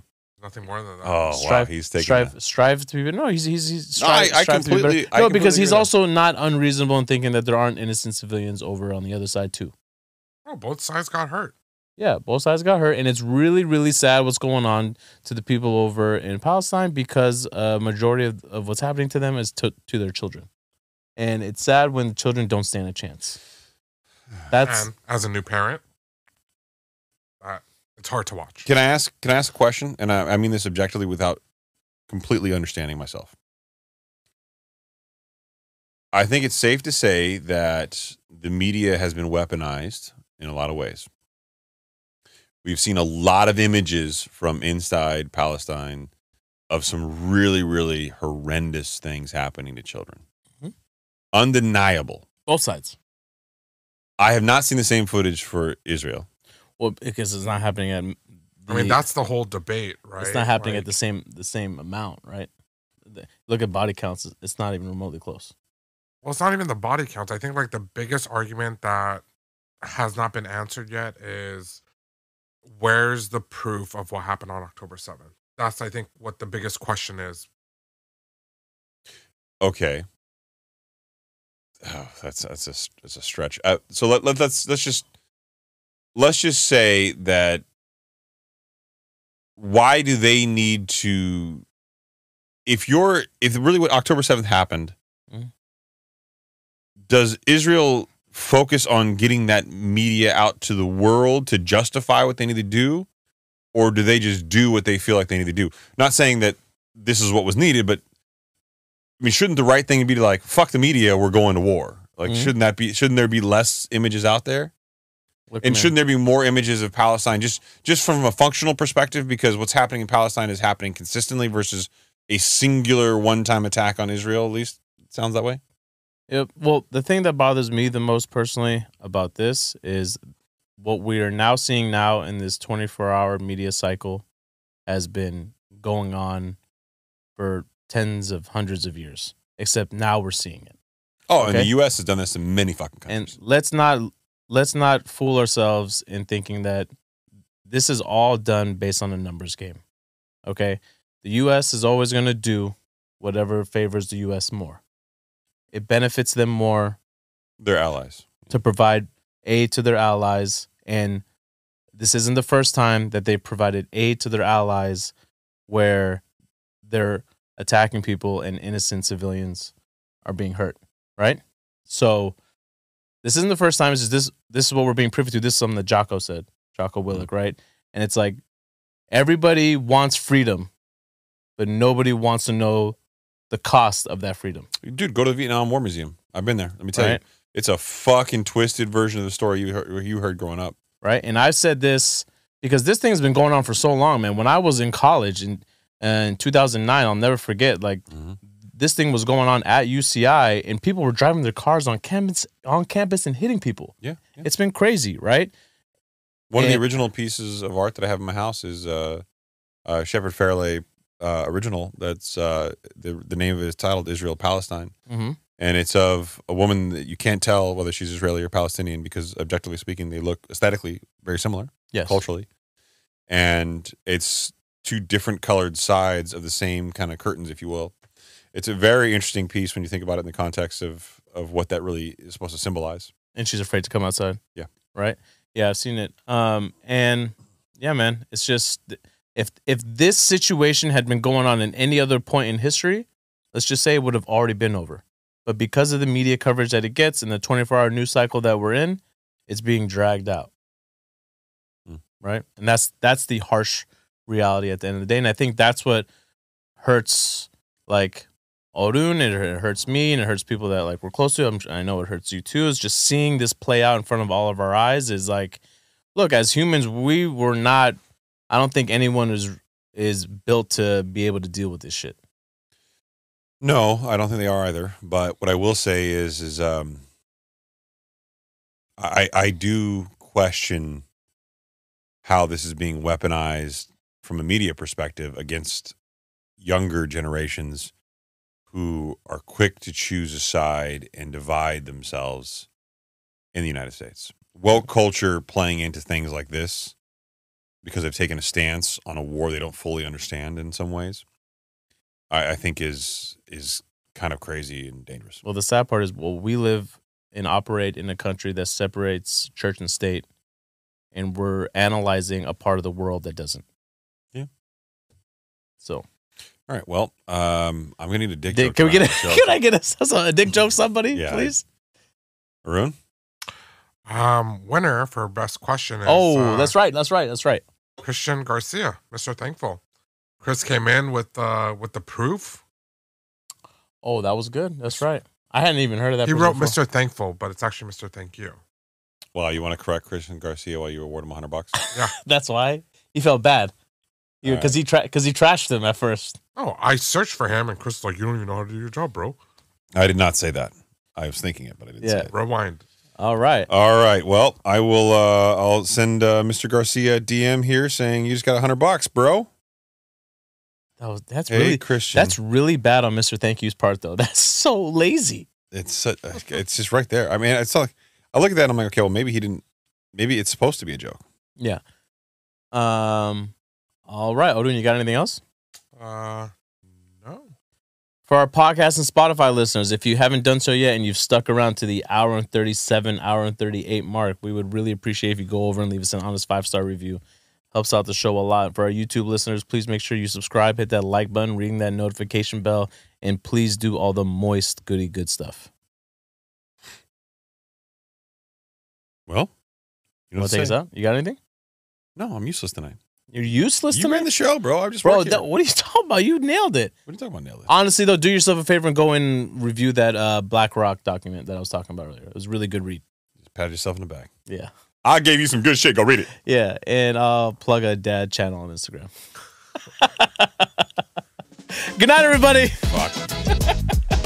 Bye.